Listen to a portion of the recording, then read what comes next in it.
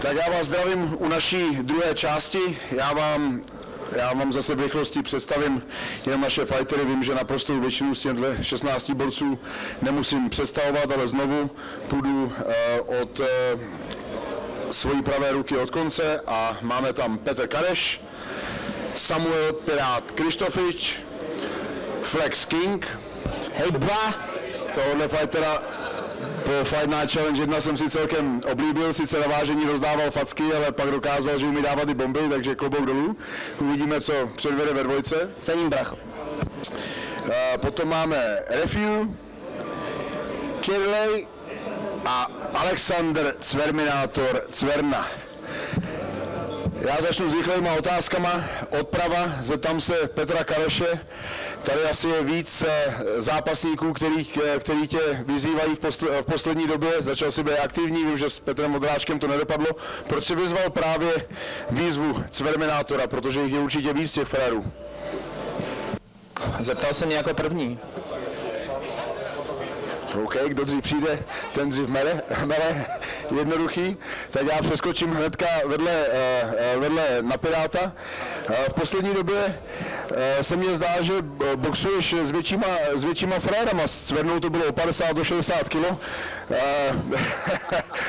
Teďka máš jít proti Melounovi, ten bude asi taky trošku těžší a teďka i na Fight Night Challenge soupeř vypadá taky o, o, malin, o malinko větší. Jak se na tohle to trénuje, na tyhle těžkotonážníky?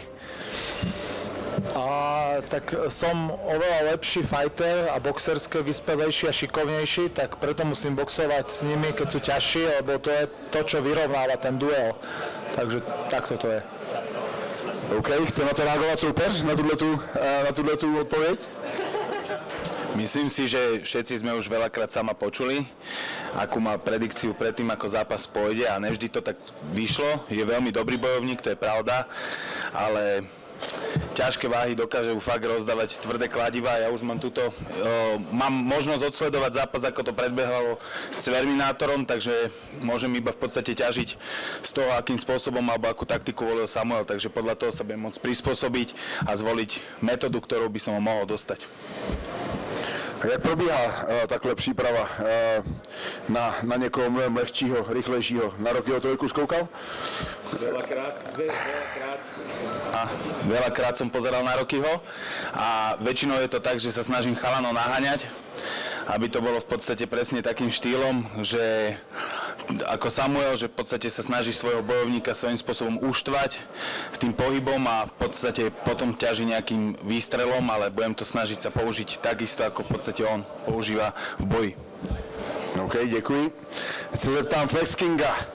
Ty vlastně v prvním zápase, první, první KO, já na to čekám pomalu 30 let, takže klobouček. Co od tebe můžeme čekat Som ťa predbehol. eh, v druhém zápase?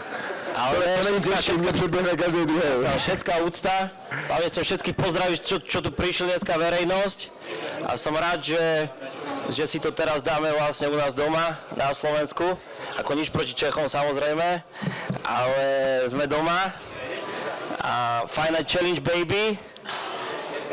No a len jedna vec ma mrzí, že som dostal fightera, čo skoro nikto tu nepozná, takže, takže dúfam, že to bude aspoň dobrý zápas.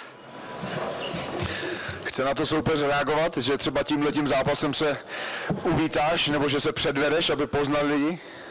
Já si myslím, že 3.6. to bude zajímavý, bude to hezký a myslím si, že mě pak budou znát i Slováci. A mimochodem já jsem i krví Slovák, takže jsem tu taky doma svým způsobem.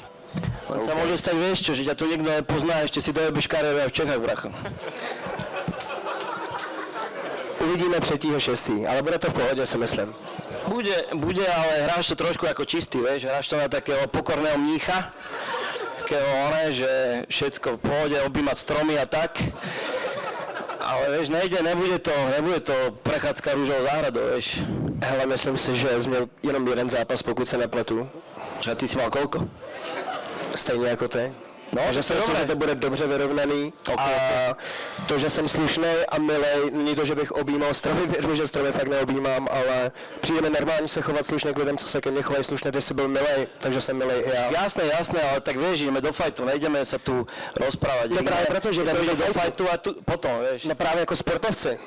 Chápeš, jakože jestli chcem být na sebe nepříjemný a hnusný, tak jako v tady tom nákupáku se můžeme sejít pak někde klidně hned po tady té tiskovce. Môžeme, pohode. Dáme Ale, tisko- ale, poďme ale, na- ale, ale takové facky na Ja som povedal, že toto mi povie, povie, že koko, poviem ti jednu vetu a hneď ma budeš pozývať ven fightov. Ne, pozor, pozor. Sportovec teda, čistý Ne, ne, ne, ne, ne, já ti právě že říkám, že já chci být milý a slušný, já chci předvést sportovní výkon a nemám důvod, pokud jsme se nic neudělali, chovat se jak čurák. Easy. Jasné, to není čurák, to je normálna vec.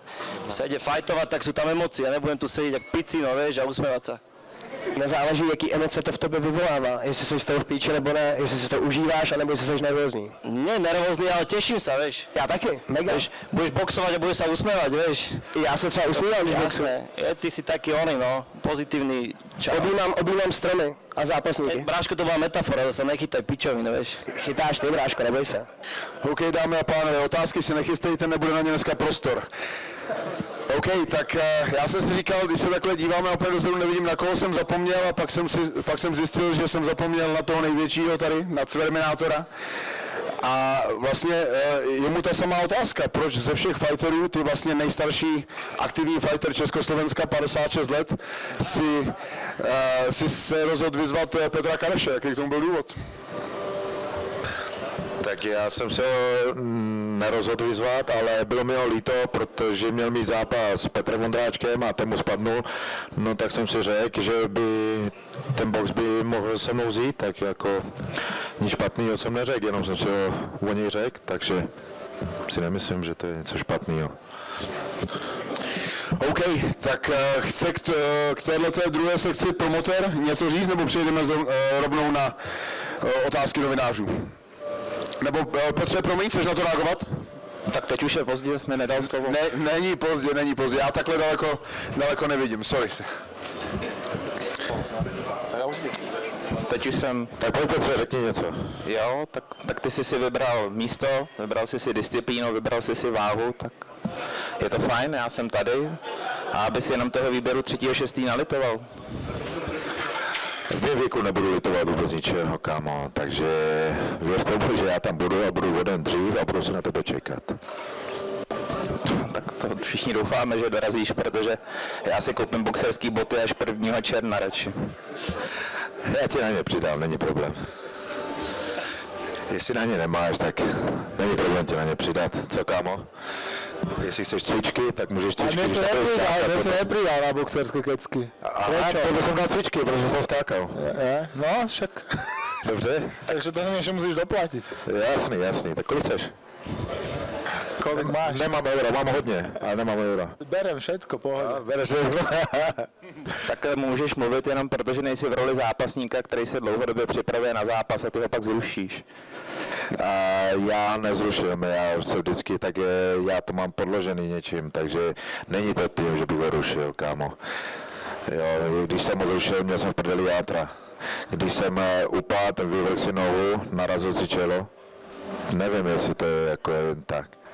Já to chápu, všechno to respektuju, rozumím tomu, ale pak tady nemůžeš zápasníkům rozdávat eura na boty, protože všichni mají právo se bát, že nedorazíš. Já jsem ti neřekl, že ti přidám na boty, já jsem ti řekl, že ti dám na cvičky.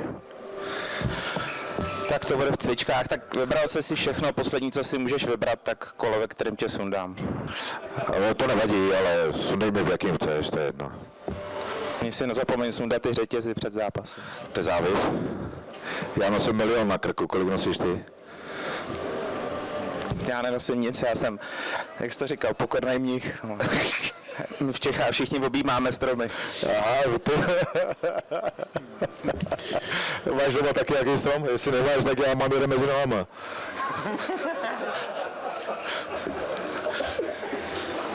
No, tady bych to zarazil, všichni víme, jak je to s tím tvým ukazováním a s tou tvou orientací po té... Ne, tak všichni víme, že má mezi nohama je bohatý, tak já nevím, jestli jsme tady kvůli zápasu nebo seznámit Alexe, tak jestli máte dámy zájem, tak má krásný Instagram. Jasný, děkuji ti, jsi hodnej kluk. Já věděl, že jsi hodnej. Nejen dámy, Alex bere všechno. Ale teďka už přejdeme, eh, přejdeme, všechno. eh, přejdeme k promotérovi. Má promotér něco k, k této, než to předáme eh, no, novinářům? Myslím si, že to bolo úžasné, môžeme ísť ďalej. Nevím, jestli úžasné, ale určitě můžeme jít eh, dále. Takže novináři, máme tady nějaké otázky? Tady v přední řadě vidím zase hlavní mediální partner. Počujeme sa? Zdravíčko, to pri telefóne. Started up. Ja by som sa chcel opýtať, že Marka, ako vznikol zápas Pirát versus Kiri? Tak Pirát ukázal veľký výkon na Financial Challenge 1 a chceli sme ho určite do dvojky. Môžem povedať, že mal mať iného súpera naplánovaného, ktorý bohužiaľ na poslednú chvíľu e, nemohol. Tak sme dohodli túto s kolegom a pevne verím, že na ďalšom Financial Challenge možno bude pôvodný Pirátov super. Ja si myslím, že tento zápas bude takisto veľmi zaujímavý. A chcel by som, neviem, že či vy viete a tak, medzi vami dvomi bol istý taký problém pri Benkovom zápase, kedy Kiri nazval Piráta kolotočarom. Myslíte, že teda, myslíš si Pirát, že toto na to skutočnosť závaží nejak na tom No, tak jak e, sa tu povedalo, môjim superom niekto iný a Telka mi volal, že super to zrušil a že či mám niekoho, s kým by som mm, chcel nejak zápasiť alebo tak, tak najprv ma nikto nenapadal a potom ma napadol presne kvôli tomuto Kiri, pretože e, bol tam kolotočar, boli tam iné veci, ktoré sa proste ne, alebo nepatria. Ako keď si charakter a rovný človek, tam nerobíš také veci, aké robil on pred môjim zápasom s Kubom a počas zápasu, Čiže som sa rozhodol, že za tú opovážlivosť budem musieť dostať do hlavy teraz, aj keď on už potom tam, akože tie naše vzťahy, akože sa dali tak ako na poriadok. On potom nejaké videá posielal, že mám tvoju kartičku z OKTAGONu a neviem čo, a že OK, že máš moju kartičku, že to je pekné, ale proste nedošlo také normálne ospravedlnenie a preto to ospravedlnenie si teraz tak vybijem na ňom. Tak som si vlastne na povedal, že dajte mi ho, Viem, že som lepší, šikovnejší, rýchlejší, krajší, takže on, on to doženie zase váhou, takže bude to, bude to, to bude byť taká miska váh, že to môže byť vyrovnané, aj keď si myslím, že to bude z mojej strany proste pres, jak hovorí, že viem tancovať, tak proti nemu sa nebojím rany, pretože už som videl jeho rany, nestojí to za nič, čiže nemá úder ťažkej váhy a bude bytý celý zápas. Ešte by som chcel k tomuto zápasu sa opýtať uh, teba, Pirát. Uh, aktívne budeš priberať, alebo si udržíš svoju... Nebudem priberať, dva týždne predtým mám vlastne zápas e, s Melovnom. V oktagóne to je 9 jednotka, čiže to je taká moja váha vlastne, mám tak 9-2, 9-3, keď sa opustím tak 9-4, na 9-5 možno mi to vyjde, ale to je taká moja váha, ktorú budem mať v zápase z, aj v jednom, aj v druhom vlastne, ktoré mám dva týždne po sebe, čiže nemám v pláne nejak priberať. Myslím, že to nepotrebujem, som na to váhu zvyknutý a tak ako hovorím, som oveľa šikovnejší zápasník ako môj super, takže bude to možno aspoň trošku zaujímavejšie, že to môže, môže trošku vyrovnať tú misku váh. Viem, že Kiri to má vo váhe otvorené. Môžem sa ťa opýtať, Kiri, že v jakej váhe plánuješ nastúpiť na zápas? No, momentálne mám 130 kg, keďže budem sa zameriavať v podstate trošku na kardio, tak rátam, že to pôjde na nejakých 120, takže v tomto smere asi by som povedal, v 120 sa budem asi držať v tom rozmedzi, ale k tomu akože by som povedal, že ešte k tomu, eh, čo vlastne teda bola iniciatíva, tak ja iba na to poviem, že vždycky je to o tom, že akcia vyvoláva reakciu. To znamená, že aj teda k tomu správaniu, že keď si charakter, tak eh, v tomto smere akože Samuel by ešte stále mohol nad tým pouvažovať, že čo je charakter, lebo niektoré veci vravím, akcia iba vždycky spúšťa reakciu a keď sa zdvíhaš cez supera v podstate Akcia počal, už pred zápasom si začal robiť akciu. To, čo som robil, že som sa napríklad stával cez Kuba, že cez koleno, tak e, bol tam rozhodca, ktorý na to pozeral, boli tam nové pravidlá, nikde mi nikto nepovedal, že to nemôžem robiť, takže neviem, o čom rozprávaš, ty vykrikuješ, že kolotočár, ideš niekoho zhadzovať doma od zápasa, niečo viem, mám, mám 40 zápasov v MMA s amatérskými, ty máš čo, ty máš 5 zápasov z BJJ, z MMA, zo stand-upov amatérsky dokopy No. a ideš do seba robiť čo? Nie, ja som Ja- stále vždy v pozícii trénera a v podstate nemusím zo seba robiť nič, lebo ja No mám tak zápasníkov- nemusíš, tak to nerob, a čo potom zo seba robíš furt zaujímavé. Nie, ja len hovorím o tom, že v podstate ja mám borcov, ktorých som vychoval a majú v podstate také čísla na zápasoch, ako napríklad máš ty. A nikto Kto má, také, či, kto má také čísla, jak ja, Už len si ty vychoval, mi povedz jedno meno. Benko, už len Benko. Ty si vychoval Kuba Benka, hej? Ty si vychoval Kuba Benka. Moje ruky sú tam v podstate stále v pozícii toho, ktorý mu robí Prosím ťa, tomu ne, ty si vychoval Kuba Benka. No nie, vychoval sa on sám, lebo v podstate je to dospelý fungujúci človek, No, Ku- ale čo sa týka prípravy, tak v podstate príprava vždy Kubo Benko, z mojej, spo- z Kubo mojej Benko- strany. Mm, tak Kubo Benko začínal Spar- Spartance ešte s Vincom. Tam, kde ja. To, no, tam, kde ty. Potom bol duel na Pataj, na Pataj myslím, na Pataji. A to, že teraz s tebou si zalapuje a to, že s tebou proste ti pomáha s Jimom, tak nerozprávaj, si ho vychoval, lebo to je To je tvoj to, pohľad. to je pre Kuba dehonustujúce a s Kubom sme nemali žiadny problém a ty si tam do toho rýpal, či pred zápasom, či počas zápasu, Ja či po zápase ťa- s Kubom sme boli furt rovní, furt sme si ruku podali, furt sme no? spolu komunikovali To nikdy, není, nikdy to nebolo inak v podstate, že čo No sa to nebolo, len ty sa do toho motal Ale to, že som dal story, kde si ty v podstate bol označený akože v podstate s eh, kvázi s rozseknutým čelom a s fialovým okom a čo ťa asi očividne dosť zasiahlo, čo ma mrzí, lebo v podstate je to tak, že trápi ťa len to, čo sa do teba dostane, tak akože v podstate dostalo sa ti to tak, že reálne si aj tak po zápase svojím spôsobom vyzeral s Kubom. No po zápase s Kubom som vyzeral tak, že idem rozbiť hubu a ty si vyzeral, že si dosratý z toho. Veru ne? No tak Veru to ne? áno, že si tam koktal si tam a u tebe tam si sa popieral opäť, čo sa deje, čo sa deje. Ne, ne, ne, ja som Ako a ja zase to som na to pyšný, to už po zápase, ja som bol víťaz zápasu a mal som na to kašľať a som na to nechcel Áno, akože víťaz si bol, ale v podstate čo sa týka tejto, tejto veci, tak stále vravím.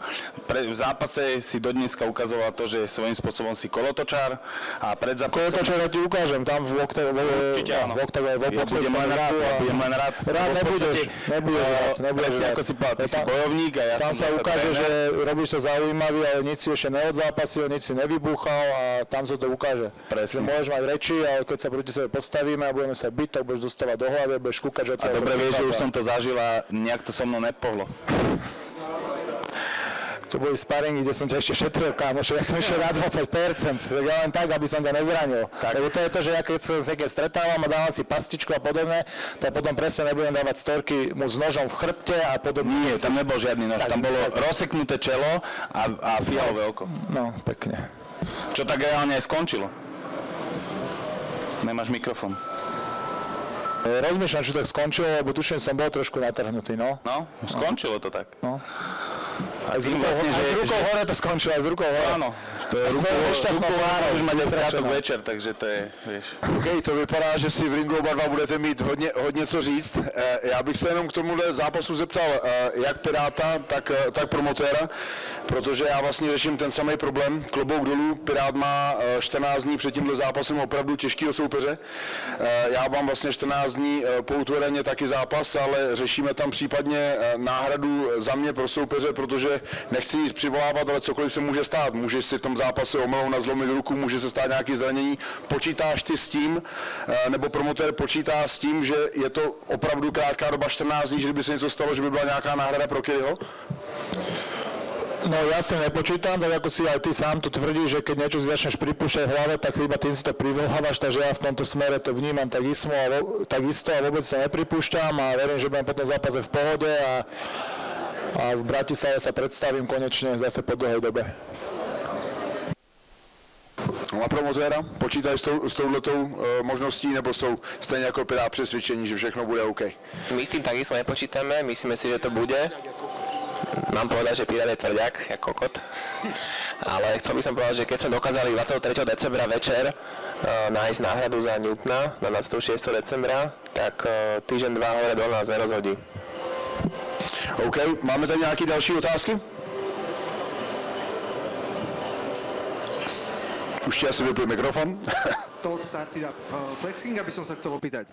Po poslednom zápase ťa to tuším začalo baviť. Ako často trénuješ? 4 krát do dňa. Ale ne, dávam si každý deň, keď môžem. Mico dávam si, že každý deň. A keď nestíham, tak dávam si tak deň pauzu. Ale chcel som sa spýtať môjho supera, keďže nemôžem jeho Instagram sledovať, lebo mi to príde moc sladká pičovina, že koľko, ako dlho už trénuje, že box? Čiste box? No, že fighterské športy, lebo učistok mi vyprávali, že robil 64 rokov karate a 15 rokov tajský box. A Tak je to také spravodlivé, brácho, lebo idem do tvojej váhy vlastne, dvihol som to 8 kg. Počkaj, kila som ti zhodil. Ty jdeš do mojí váhy? No nie do tvojej, ale mal som 75 kg, teraz idem 83. Takže vieš. Jo, ale já jdu za 105. No však dobre, ale tak zdvihol Já som to, vieš. jako jo, to cením, Áno, vieš. respekt, za to respekt, No to sa iba pýtam, že ako dlho boxuješ, iba by som chcel vedieť. čistý čas, rok a půl, dva. OK, OK, takže ja, še, takže ja pol roka, takže keď ti dám KO, tak o to lepšie pre mňa. Jo, když se ti to podaří, tak jo. Takže trénujem, makám jak drak. Ešte by som sa chcel opýtať Terminátora. a Pred chvíľočkou ste si vymenili názory s Petrom. A Ten konflikt, ktorý teraz započal, myslíte, že ešte nejak vyhrotíte, alebo budete to nehať tak, že ty objímaš stromy a tebe to je jedno? Na mě je úplně jedno, to kdo co objímá, ať se objímá každý co chce, ale já jdu do ringu a tam si to ukážem. Ďakujem veľmi pekne.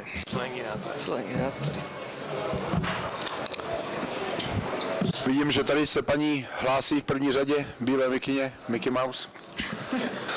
E, Dobrý večer, Netky. Ja by som sa chcela spýtať všetkých túto pánov, ktorí si tak pekne vymieňajú názory. Je to veľmi príjemné, milé, máme o čom písať, ale ja sa chcem spýtať, keď ste tuto v backstage a nie je tam nejak veľa miesta, tak to sa obchádzate, alebo čo, lebo teraz sa tu vypitujete, kto koľko trénoval flexing.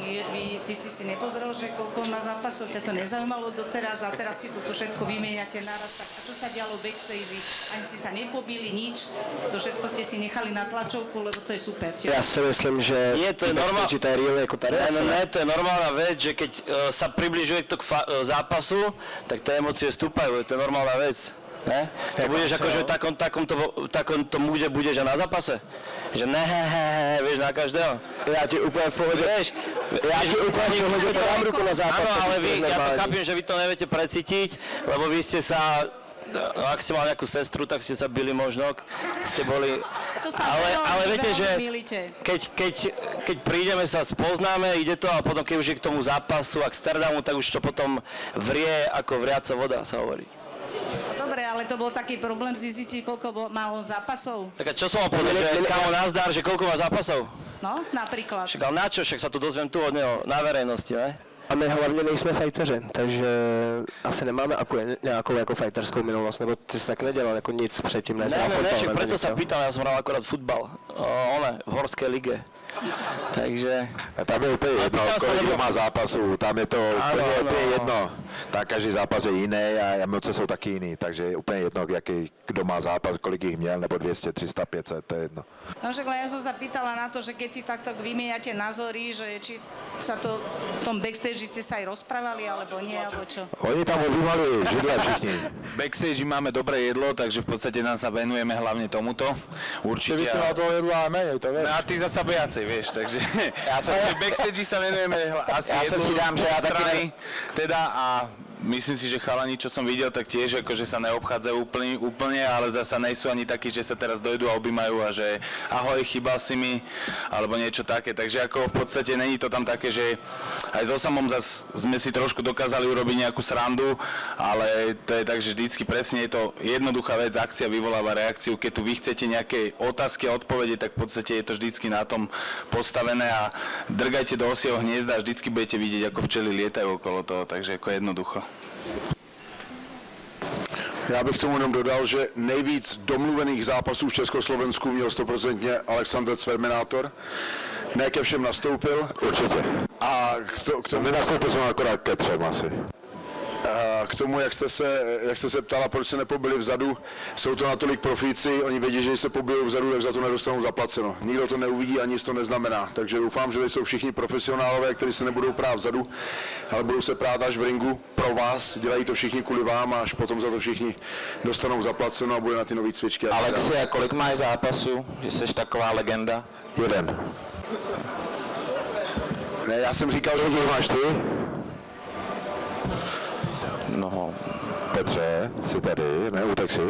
Já přemýšlím, to se těžko počítá, no, jenom mě zaujalo, co říkal Carlos, že, že, máš, to, že máš tolik zápasů, Ne, že já jsem se říkal- cítil uražený. pozor, já já- jsem jenom, pro mě jsou to nové informace, stejně jako o tom stromu, to jsem taky nevěděl, chtěl bych jenom vědět. Petře, já, jenom, já jsem říkal, že nejvíc domluvených zápasů v historii měl Cverna. On ne ke všem nastoupil, k naprosté většině nenastoupil, ale já už jsem ho viděl asi na 500 plakátech. To jsem tím myslel. Vy, vysí na každém plakátu. Vůbec nevadí, Karlo, že to je to samý. OK, máme tady další, další nějakou otázku, než se to zvrhne. Já si potom, ještě tady vidím kolegu, potom přijdeme na stairdowny a rychle se téhle té pětky zbavím a pošlu sem další.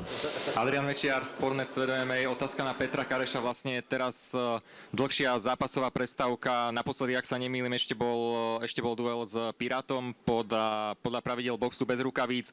Já se, pane, strašně omlouvám, já vás nevidím, už, už vás vidím, promiňte. Jasné, jasné. Eh, Naposledy teda opäť zrušený zápas s Petrom Vondráčkom. Že Ako prebiehala potom, potom tá ďalej tá tvoja príprava? Prerušil si ju, opäť si začal novú, alebo ako to vyzeralo? Tak já jsem se připravoval na jinou disciplínu, připravoval jsem si na K1, ono se to nezdá, ale ten box je, uh, je to odlišný, je to jiný druh přípravy, začal jsem eh, mnohem víc běhat, začal jsem mnohem víc pracovat eh, s tím, že se budu pohybovat na nohách. Jsou to úplně dva odlišné sporty, to vám řekne každý zápasník, takže eh, ty přípravy se nedaly spojit. Na druhou stranu jsem od promotéra, od Alexe dostal zase férovou, eh, férovou dobu a férový čas na to se připravit, takže se nemám na co vymlouvat. A mě ta příprava baví, naplňuje mě, cítím se potom v životě líp, takže hm, já to dělám jako, jako součást sám sebe a nemusím se do toho nějak nutit. Někdy trénuju víc, někdy míň, ale trénuju každý den. Potom druhá otázka na Pirát. Ty už máš vlastne skúsenosti s tými ťažšími súpermi. Naposledy Alex Cverna, ešte je legendárny ten tvoj duel s Tomášom Vašičkom. Dá sa povedať, že ti nejako tieto skúsenosti môžu, môžu pomôcť aj, aj do tohto duelu, alebo vôbec, že každý zápas je iný? O, to sa ukáže v tom boxerskom ringu, myslím si, že mi to môže pomôcť. Samozrejme, ja mám niečo odspárované s Kirim, takže ja si myslím, že nemám ma čím prekvapiť, viem, s čím príde, bude to chcieť staviť na tú váhu a, a vlastne to bude aj jeho porážka. Takže to, čo si myslím, že bude pre ňoho prínos, nakoniec zistí, že to je tá najväčšia jeho devíza voči mne. A ešte otázka vlastne v podstate na Karlosa Vemolu, lebo ja som sa bavil s Alexom Cvernom e, na Štvanici a pýtal som sa ho, aký je teda tréning s Karlosom Vemolom a on povedal, že chcete pri tom umrieť. Tak možno teraz zase naopak, že aký je tréning s Alexom Cvernom? Karlo chce umřít. Eh, jaký je, tak je těžký, je náročný, protože je těžký, ale když eh, musí ho trošku eh, člověk do toho tréninku dokopávat, a tak na jeho léta 56 let není se čemu divit, ale zas na druhou stranu málo který frajer v jeho letech trénuje tak často jako, jako Alex. Taky už to nemá zapotřebí, má plno, plno jiných věcí, které by mo- mohl dělat, ale jeden z málo kluků, který mu když zavolám, aby na trénink dorazil, tak tam vždycky je. Vždycky je na rozdíl ode mě na čas, je tam, je připravený a trénuje, když je, když je potřeba eh, trošku mentálně podpořit, mít někoho v tom gymu. Já trénuju eh, ve dny, já, já se psychicky eh, nastavuju, že jsou různý Vánoce, svátky, narozeniny, dny, ve kterých normálně lidi netrénujou, tak já trénuju a na ty dny se těžko hledá parťák, Alex tam vždycky je, takže, eh, takže si pomáháme vzájemně a říkám klobouk dolů. Eh, Za 15 let, skoro za 20 až budu v letech, chtěl bych být v takové formě. A ešte predsa, Děkuji. Ešte predsa jedna otázka na Alexa Cvernu. Bolo tam samozrejme dosť tých zrušených zápasov, naposledy to ale vyšlo v tom, v tom decembri proti Pirátovi. Teraz viem, že mal si mať na programe, na pláne viacero duelov. Ako to vyzerá okrem, okrem tohto už dohodnutého zápasu? Tak já jsem teď asi tři zápasy odmít, protože jsem se připravuju se tady na tenhle ten zápas. Jo, mám eh, EMC, jo, tam mě furt chtějí do Německa, ale eh, zápasy jsou, jako já v tom asi problém nemám, já nevím proč, ale ty promotéři mě furt chtějí vidět, takže já akorát dokážu bomby a bude to, vlezu někomu do hlavy rukou, jo, a tím to končí. Promiň, já tomu nerozumím. Jak, jak vlezeš někomu do hlavy rukou? To, To ucítíš, nebo Protože válka na Ukrajině je, je mi to strašně líto, ale ty bomby budou v ringu. ringu 3.6. A já nevím, jestli si jdeš ale ve správné disciplíně, jestli je máš jít jako ve fackovaný. Jo. To, to, je jako úplně podle mě geniální disciplína, tam se ty dva lidi postaví proti sobě a dej si facku a kdo má větší, tak ten vyhrává. A nevím, jestli si uvědomuje, že ten box je prostě sport a že je o ničem úplně jiným než o úderu a o bombě. To je prostě krásná, úžasná disciplína, plná pohybu, Já- dynamiky, já- rychlosti a to až poslední je bomba. Je Já, bombo. já nejsem jako rozený boxer, jo, ale uvidíš, jako neboj se, budeš běhat, neboj. Jako, bez sporu si, počkej, já se potkávám na Andělu, jak tam běháš po těch cihlách. No, já, jo, takže... já běžím v vodě, protože nedoběhnu do kopce, tak běhám, protože po- podél vody je rovina, víš. A ty běháš do kopce a to je určitě tvoje obrovská výhoda, aspoň teda z tvýho Instagramu jsem to, to vidím vlastně v podstatě každý den. Jo, ale sleduješ, já, já tě sleduju, jo, jsi flyer. Děkuji, děkuji. Já se něco nového naučit, víš. No, Ale- nauč se to, nauč se to, prostě to potřebuješ. Chtěl jsem ti říct, že nikdo nerozporuje, že máš úder. Každý kluk, který je velký jako ty, má úder. A co je? Nemá, to ti garantuju, že nemá. A můžeš říkat tady, co chceš. Tak proč si nesundal Piráta, když máš takový úder? Já jsem si s tím šel hrát. Já jsem dám tebe, já jsem dám tebe. Počkaj, počkaj, ja som zahral s sebou. Áno, presne. A ešte si bol radšej za remizu. Keď Áno. hlavičku nedám, tak ešte... Já jsem šťastný, že jsem tam s tebou byl. No, Že jsem tam došel konečně. mal si jeden zápas, si povedal to, ja som ťa tu vypromoval, tak buď, buď vďačný, prosím. Alexi, koho si sundal tím drtivým úderem za posledních pět let? Nikoho, tebe. Ještě OK, okay, tak máš... pojďme, pojďme na první staredown, protože první staredown je právě Petr Kareš versus eh, Alexander Cverminátor Cverna. Pojďme na. To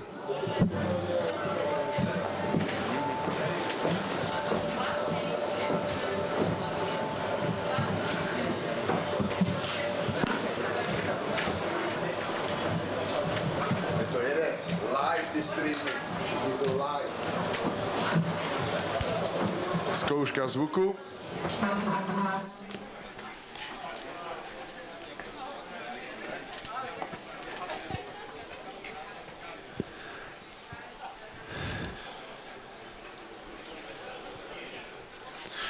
No nevím, nevím s tímhle pódiem, protože jako první na pódiu pozvu těžkotonážníka Alex Cverminátor Cverna.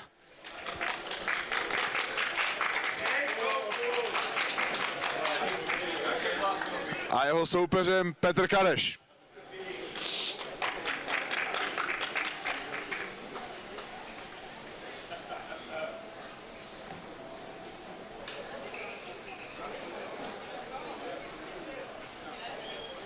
Pánové, já vám děkuju, poprosím o fotku pro novináře.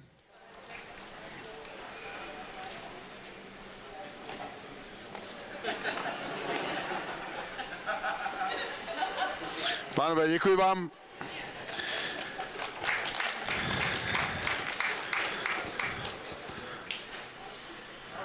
Jako první na pódium přijde můj oblíbený nováček Flex King.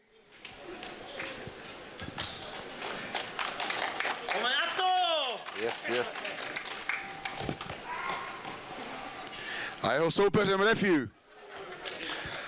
Tady si budu muset dávat velký pozor na facky. Máme jednoho hodného kluka, ale máme jednoho... Poďme do toho, ne? Či ako? Oj, oj, oj, oj, oj, oj, oj. S tebou je vždycky problém, kamarád. Nech si to do toho ringu. Nech si to do toho ringu, je to zbytečný, je to zbytečný. OK, OK, OK, OK, OK. Tamhle si otočte na- novináře, fotky pro novináře. Je to krásný sport, máš možnost mu to vrátit. 3. června.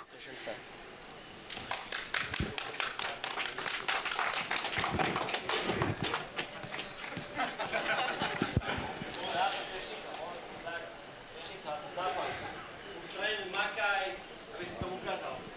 Koľko trénuješ ten box, dobre? Nebudeš trénovať. OK, Samuel Pirát Krištofič. Mám tě tady jako prvního. Jo, sorry, ty bojuješ s tím modrým rohem, viď? Oni ti to pak předělají do červeného. A jeho soupeř, Kidley. A, a Matěj Kiri the King Kidley. Sorry, sorry, sorry. Mám to špatně napsaný. Omluva. Dáme jo, ne, pesťovku. No daj, čo chceš. Možno. Tak nech je vidno telo. Poprosím vás o fotku pro novináře.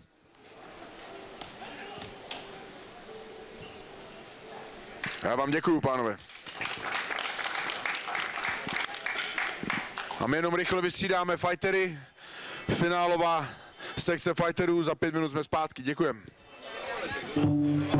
část naší tiskovky. Vypadá to, že velice zajímavou. Já vám zase představím kluky, který nemusím představovat. Mám tady napsaný, že zprava jako první sedí Attila Vek, ale vypadá to, že došlo k malinko k změně, protože tam sedí Rytmus a vedle něj sedí Attila Vek. Potom nevidím, mám tady napsaný, že tady mám Mike Spirit, ale to asi ne, takže to uh, mám popřeházený. Mám tady Spare, potom až Mike Spirit a já se omlouvám za svoji slovenštinu. Váško, dyslexiu si zajebal. Přesně tak, omlouvám se za svoji, slo- eh, za svoji slovenštinu. A jako posledního máme, máme Molocha. A, takže se ještě jednou omlouvám za svou špatnou slovenštinu a začnu první otázkou eh, od Rytmuse, spíš než otázkou poděkování, je to velký profesionál. Eh, Jel jsem, na, eh, jel jsem na Slovensku na tuhle tiskovou konferenci, nechtěl jsem o ní přijít, ale zároveň jsem nechtěl netrénovat a vzhledem k tomu, že boxujeme krátko od sebe, tak si se mnou dneska zaspároval šest tříminutových kol těsně před touhle tiskovkou, takže děkuju a klobouček tvýmu týmu, byla to parádní práce. A vedle, vedle Atilka Vek, tak tady si neodpustím nej, nejslavnější uh, slovenský fighter. Uh, jak vnímáš to, že nebudeš hlavní zápas večera? Karlito, pozdravujem ťa a všetkých vás. No, že nebudem hlavný zápas večera, vnímam to tak, že normálne asi, že chlapci, ktorí budú mať hlavný zápas, sú veľké mená a jak vieme, že Fight Night Challenge je o vlastne celebritách a interpretov a oni sú dvaja naozaj veľkí hráči, tak akceptujem, že nie som vlastne hlavný zápas. No tak se na to, na to konto zeptám Separa, jak on vnímá to, že vedle takové legendy jako Attila Vek, on je ten hlavní zápas večera. Ja vôbec neviem, jak k tomu došlo, ale ako je to super, lebo však Attila je zvíra, ale tak teraz tancuje, takže nemá čas. takže musí byť iný hlavný zápas. Je to o to větší eh, motivace trénovat tvrdě, že jsi ten hlavní zápas večera, to hlavní, na co tam ty Ja, čo, strašne veľa ľudí má pocit, že to je celé také nahrané a dohodnuté a neviem aké, ale ja by som odporučil každému si skúsiť aspoň 5-6 mesačnú prípravu, že či to bude také jednoduché a každý, kto tým prejde, tak určite nemá záujem na tom, aby tam išiel predvádzať nejaké zbytočnosti, takže každý z nás to má odmakané a určite títo ľudia, ktorí naozaj fajtujú, sú veľká motivácia pre nás, jak to robiť a konec koncov aj oni sú tí, ktorí nás to učia, čiže, čiže nebyť ich, tak tu ani nesedíme. OK, děkuji. A Majku, to se zeptám, jak ty to vnímáš, že budeš hlavní zápas večera a eh, vnímáš se jako favorita, protože ty postojový eh, vlastně sporty děláš delší dobu, sleduju, že trénuješ už, už dlouho, cítíš se jako favorit v tomto zápase?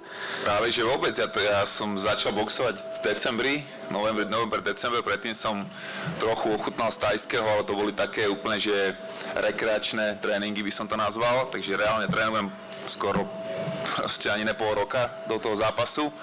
Myslím, že Sepi má práve že oveľa viacej skúseností s boxom, jak ja, ale to není podstatné, lebo sme obidvaja úplne nováčikovia v tom a bude to o tom doma väčšie srdce v ten deň, kto to viacej chce. Nebude to určite úžasný technický zápas, jak bude napríklad Attila, alebo iní profici, ale myslím si, že obidvaja makáme na tom, aby sme ukázali, že, že to bude jeden kvalitný športový výkon a dobrý boj. A je to veľká česť samozrejme vystupovať e, v tom istom ringu ako taká legenda jak Attila a ďalší bombardéri, ktorí sú tam. OK, děkuji. A eh, tebe, tebe se zeptám vlastně na tu první otázku, kterou jsem se tady ptal zbytku kluků, pak jsem od nich odpustil, proč právě Fight Night Challenge? Eh, Čím tě, ne, ne, tady už na kolegu, tady, tady už na kolegu o jednoho dál, pomí. Mě tady někdo, někdo vedle, mě, vedle mě chybí, asi, a- asi jste, to je tak... Taký Američan. A Newton, takže já jsem tady Isaac ten, Newton. já jsem tady ten náhradník pro Atilku, kdyby Newton nedorazil, tak já se budu držet ve formě, já jsem ready. Proč právě Fight, fight, Night, uh, fight Night Challenge 2, zeptám se. Moh, nevnímáš mě. Ja vás e, v rade všetkých zdravím, dneska podvečer. Prečo? Preto, Děkuji. Ja budem najebaný. aby sa ukázali veci. Ještě jednou? Aby sa ukázali veci v pravom svetle. A jaký věci se ukážou, jestli to můžeme skonkretizovat? Pekný zápas. Pěkný zápas. OK. Tak to si myslím, že stačí. Stačí jako úvod. Jsem si jistý, že máte všichni jako já spoustu otázek a začneme tady. Hlavní mediální partner, jako vždy. Právo první otázky. Ja vás opäť zdravím. A moja prvá otázka je na Separa a na Majka. Ja si myslím, teda je to môj osobný dojem, že týmto podujatím sa váš osobný vzťah trošku zmenil. Je to pravda? Bráško, to sú len emócie a, a testosterón. To po, potom, jak si dáme na piču, hneď prejde, neboj sa. Ale je to pravda.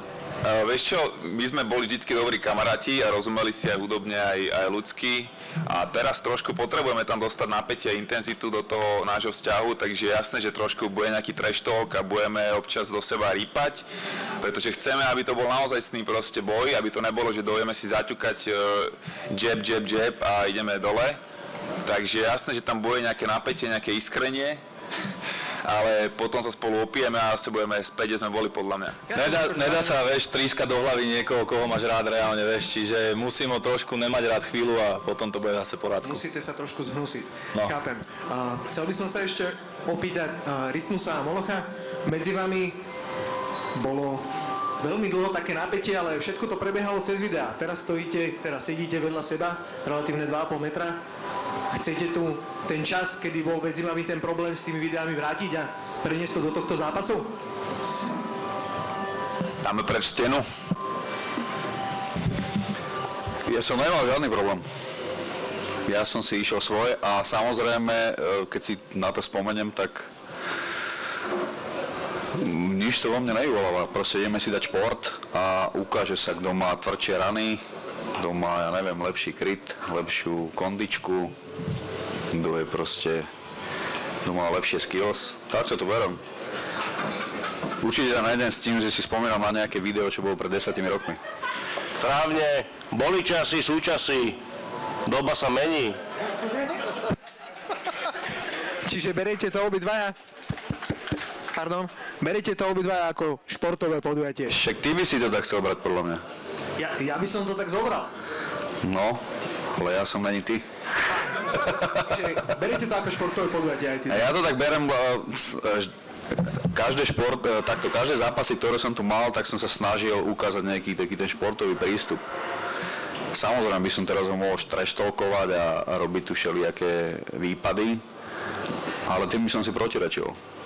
A ja som práve, že aj keď som začal boxovať a chcel som to povýšiť na takú vyššiu úrove- úroveň, a páči sa mi, že dneska reperi majú, reperi majú boxerské zápasy, páči sa mi, že to svojím spôsobom aj motivuje mladších, že, že tí mladší vidia, že makáme a že dávame si nejaký nekomfort. A takto to aj berem. Takže nečakaj odo mňa, že mu tu teraz dám facku, alebo samozrejme chcem dať dobrý športový výkon a chcel by som ho sknokautovať. Pičo. To sa mu ale nepodarí samozrejme. Ďakujem veľmi pekne. Ďakujem veľmi pekne. Bola, že by som povedal, ale jebe na to.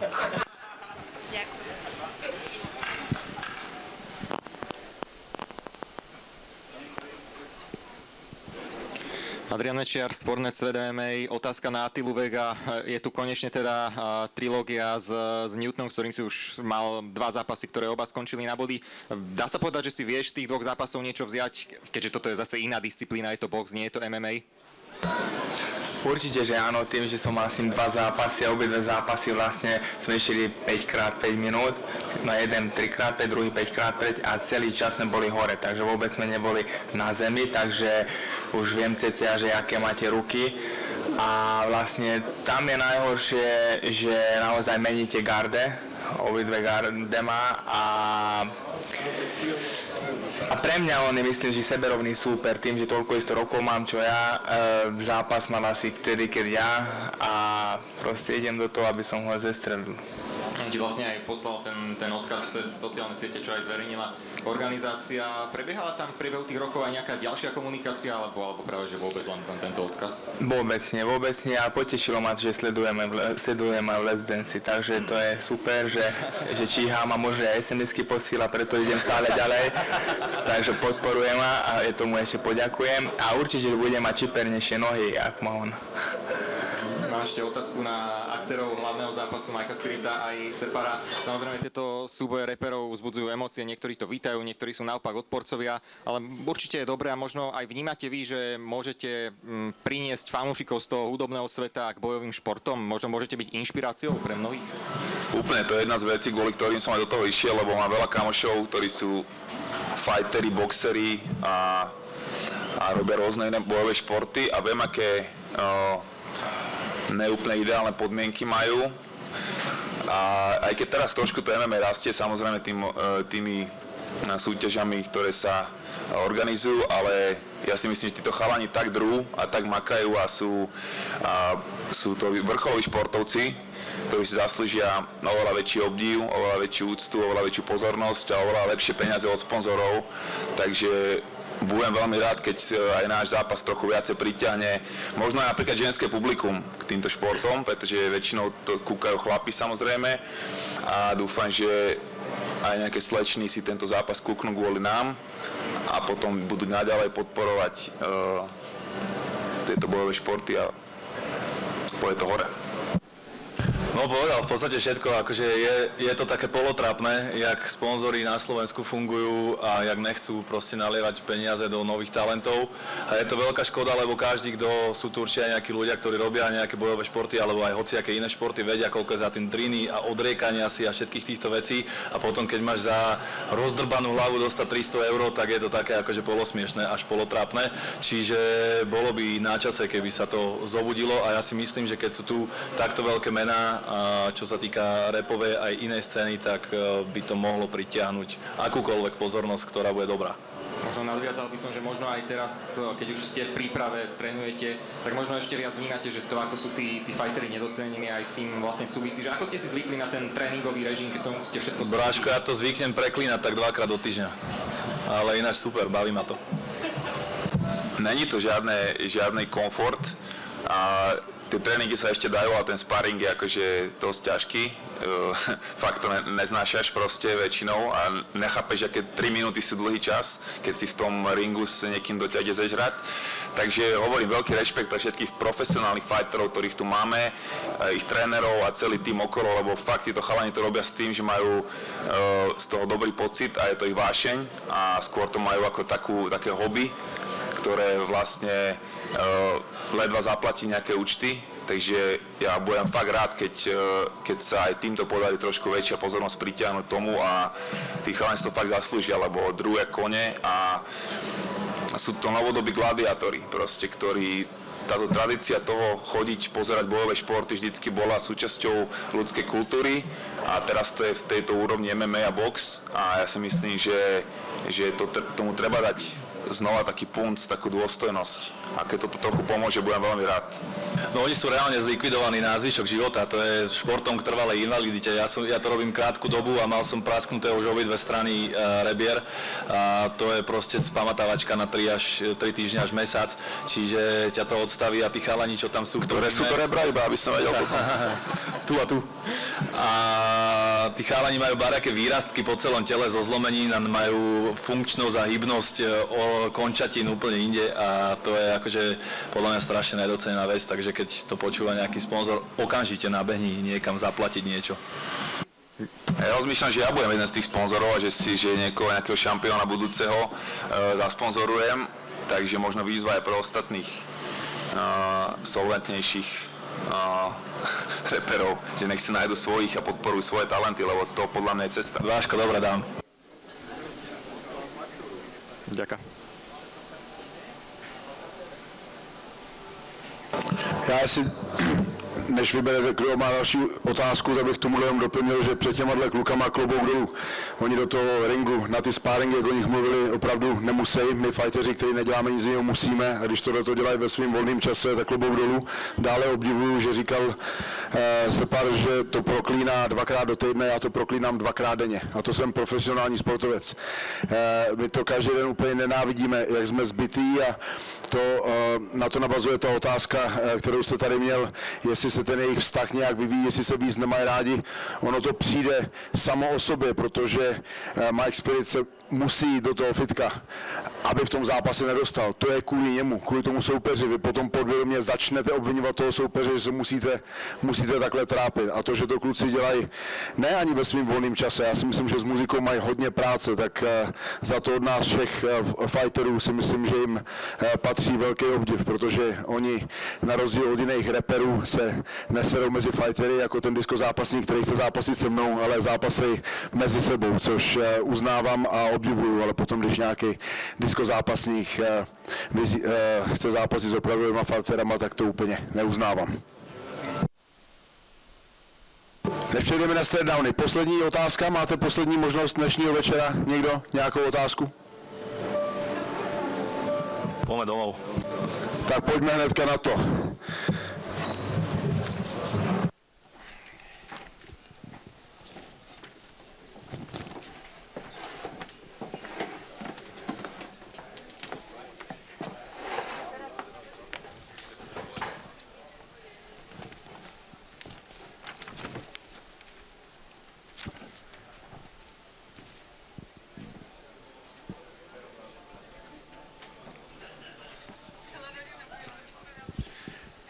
Jako prvního si na pódium pozvu Rytmuse.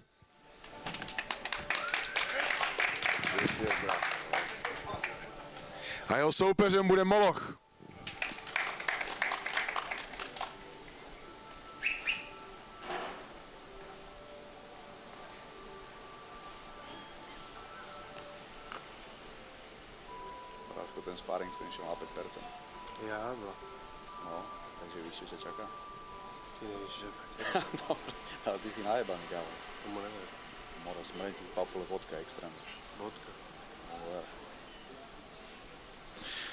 Tohle je náš první stare down. Poprosím otočit se na novináře. Foto. Pánové, já vám děkuji. Podáš ruku? Áno.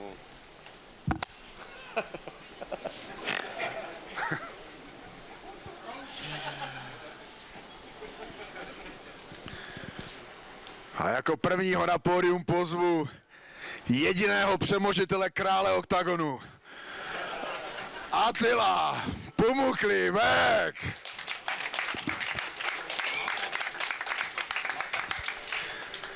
Soupeře tady bohužel dneska nemá, tak doufám, že čo skoro budeme stát proti sobě, co Atilko?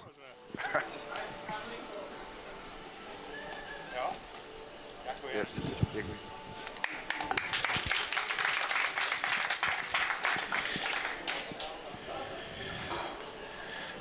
A máme tady hlavní zápas večera. A těmhle dvou klukům si myslím, že za nás všechny fightery patří velký poděkování za to, co přinášejí pro náš sport. Jako prvního pozvu na pódium Separa.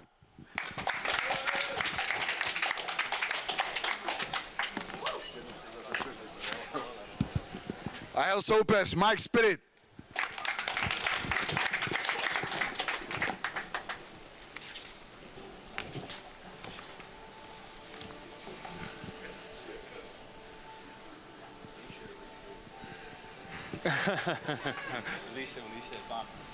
Poprosím závěrečný foto. Dámy a pánové, tohle je hlavní zápas Fight Night Challenge 2. Máško. Já vám všem moc děkuju za to, že jste dorazili na naší tiskovou konferenci. Doufám, že se všichni vidíme 3. júna osobně v aréně, pokud se tam dostanete, protože věřím, že bude vyprodáno. Pokud ne, můžete to sledovat na pay a naše borce podpořit. Děkujeme.